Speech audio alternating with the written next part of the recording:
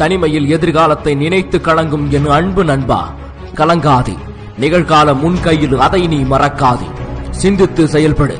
தோல்வியோ வெற்றியோ நீயே முடிவெடு. யாரையும் எதிர்பார்த்து காலத்தை இழக்காது. இன்னொடு இழந்தால் இழந்ததுதான். எதிர்வரும் நொடியில் மரணம் கூட வரலாம். மரணம் மனித சாபம். அது சாதாரணமாவதும் சரித்திரமாவதும் முன்கையில் கையில். நன்றி வணக்கம்.